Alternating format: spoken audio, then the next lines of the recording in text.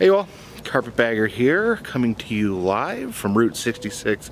Had the pleasure of staying at the wonderful Supai Motel here in Seligman, Arizona.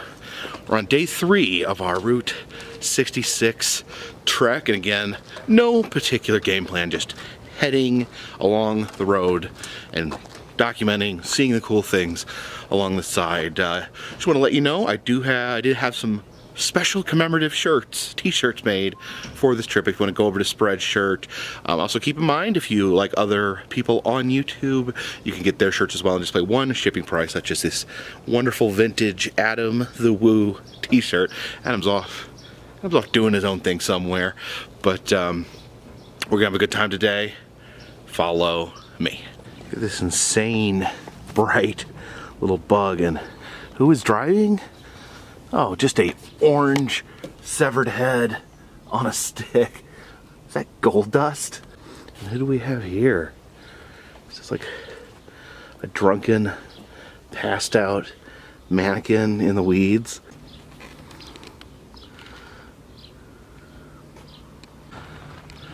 Ah! The theme here in Seligman appears to be antique cars with super creepy drivers. Here outside of the Copper Cart is this notorious hippie van that people appear to love signing and adding their stickers to. In fact, I think I'm gonna leave my own little mark right here on the top.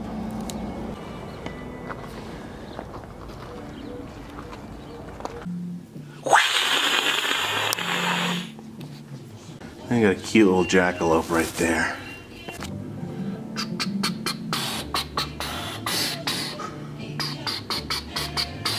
Now this legitimately may be one of the most amazing things I've ever seen. The Rusty Bolt. Got a cowboy in that window and an Indian in that one.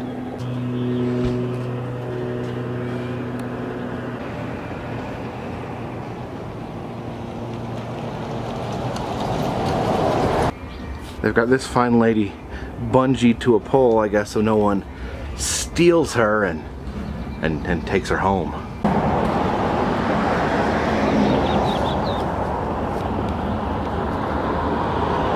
Check out this classical car being ridden by these super spooky skeletons. Please don't ride me? oh, come on. Be a sport. Juan's Garden? You ever looked at something and had no idea what you were looking at?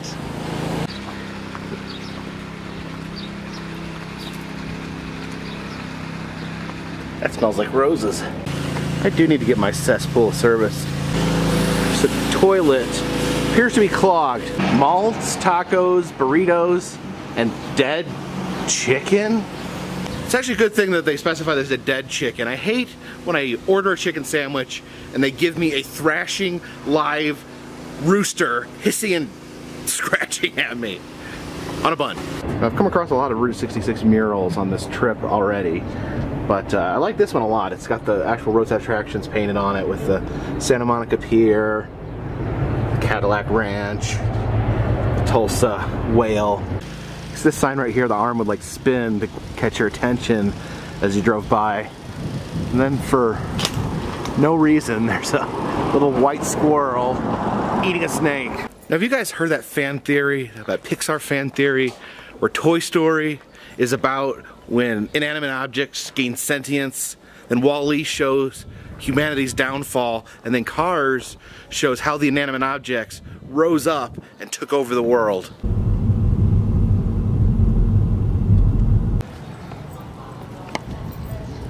This Grand Canyon Coffee Company, they serve breakfast all day, and they even have an opium den. Hey Pappy, you seen Zoltar? I've been looking all over for him. This place boasts that they have the world's largest steel Route 66 sign. Now, eh, despite the fact that I've seen 8 billion 66 signs over the last couple days, I, I gotta see more. All right, the world's largest steel Route 66 sign. It's, it's pretty big, pretty, pretty big.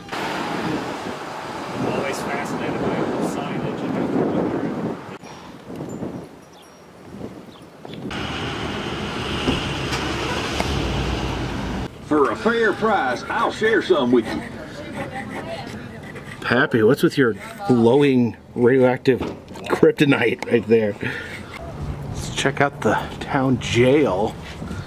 And who do we have here? We have some no good hooligan outlaws.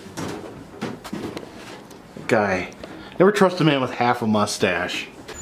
Oh, it's like some sort of porcupine or beaver in the window.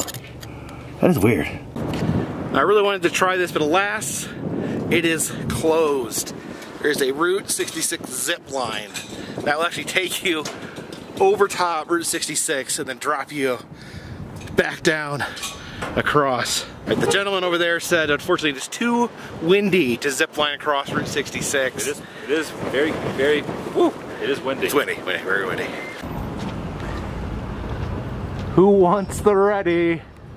Look at this. This Buick here, we have a really sketchy Elvis. Well, who do we have here? Mr. Bunyan, I presume. Interesting to see a Paul Bunyan here on Route 66. I think of him more as a cold weather folk hero. I didn't expect to see him here in Flagstaff, Arizona. My favorite part of this mural is this jackalope right here. And remember, if you donate at least $3 on Patreon, I will send you postcards once a month from my road trips. I already got quite a stack going. Oh, Diablo Canyon number two. Why can't you be more like Diablo Canyon number one? Now there it is, the legendary Apache Death Cave, where women and children Apache were slaughtered by white men. I don't know the bridge to get down there is awfully rickety and scary, but I don't know. Let's see if we can find someone to go down there for us.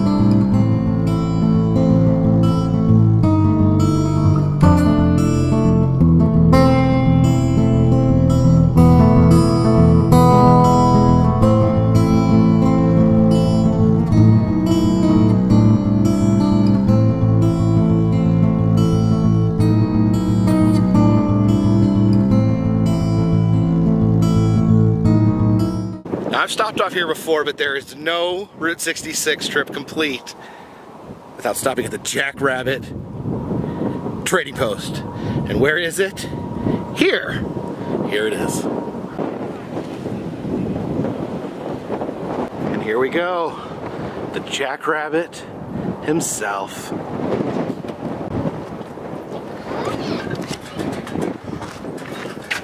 I Actually have a collection of rabbits inside. Well, that's a goat, not a rabbit. And right here, we have a jackalope. And there's Jesus. But I guess that kind of ties in with the rabbit thing, you know, Easter and all. Uh-oh, there's some baby rattlers in here. Gotta open slowly. Terrifying. All right, picked up some jackrabbit themed swag in there. Got this cool pennant for the bunker.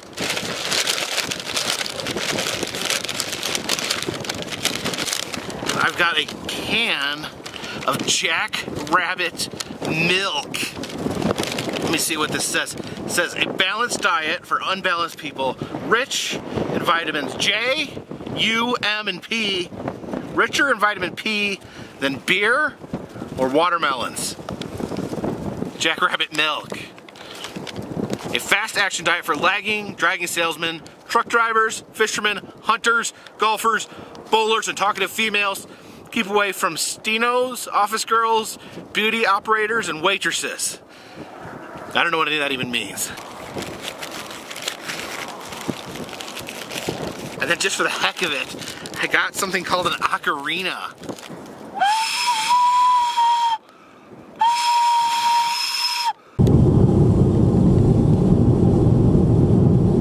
Now here's what we all came for. The world's largest petrified tree. And I'm not sure, but that might be the second largest right there. It's an amazing sign right here. I think we're gonna get some dinner. Not only is there a stagecoach on the roof, but you actually enter the restaurant through a stagecoach. Stagecoach!